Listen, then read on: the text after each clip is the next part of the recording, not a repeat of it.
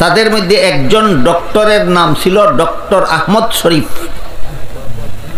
আপনারা কি জানেন, এই লোকটা মূর্খ হওয়ার কারণে ডক্টর উপাধি। না, শিক্ষিত? শিক্ষিত। এই শিক্ষিত ডক্টর আহমদ শরীফ মরণের আগে ওসিয়ত করে গেল যে আমি মরলে আমার লাশকে তোমরা গুসল দিবা না, কাফন পরাইবা না জানাজা পড়বা না, গুরুস্থানে দাফন করবা না, এগুলি ধর্মান্ধরা করে। আমি ধর্মান্ধ না, আমি আলোকিত। এই ধর্মান্ধ একটা শব্দ এগুলো নাস্তিকদের পরিভাষা। এরা ধর্মকেই অন্ধকার বলে, আর ধর্মহীনতাকেই আলো বলে।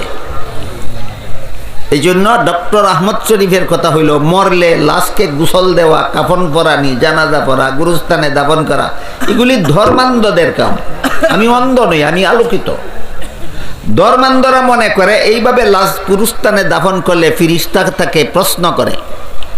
প্রশ্নের জবাব দিতে পারলে রক্ষা, না হলে কবরে আজাব হয়।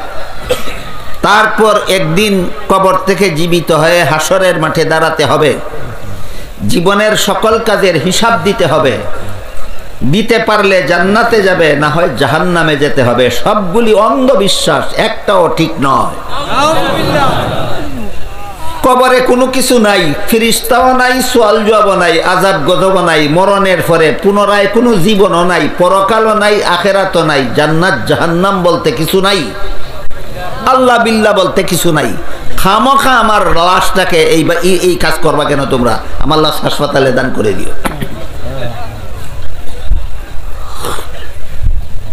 আহমদ শরীফের নির্দেশ মতে, তার মরণের পরে তার লাশকে গুসলও দেওয়া হইল না, কাফনও পরানো হইল না জানা দেওয়া পরা হইল না, গুরুস্থানে দাফনও কর হাসপাতালে দান করে দেওয়া হইল। এবার আমি আপনাদের জিজ্ঞাসা করি, আপনারা যারা গৃহস্থী করেন আপনাদের হালের বলদ মরে গেলে কি কেউ গুসল দেয়? কাফন পরায় জানাজা পরে গুরুস্থানে দাফন করে? আহমদ শরীফ মরলেও গুসল নাই, বলদ মরলেও গুসল নাই। আহমদ শরীফ মরলেও কাফন নাই, বলদেরও কাফন নাই।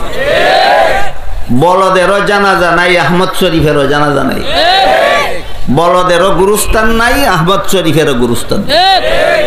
দুই বলদে বেশ কম কত? দুইটা বেশ কম আছে।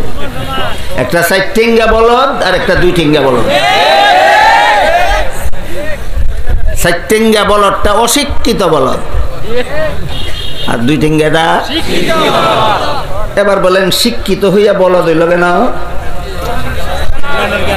যে শিক্ষা পাইছে, এটা মানুষ গড়ার শিক্ষা নয়। এই জন্য আল্লাহ কোরআনে বলেন আল্লাহ আল্লামাল কোরআন খালাকাল ইনসান। মানুষ গড়ার শিক্ষা একমাত্র কোরআন শিক্ষা।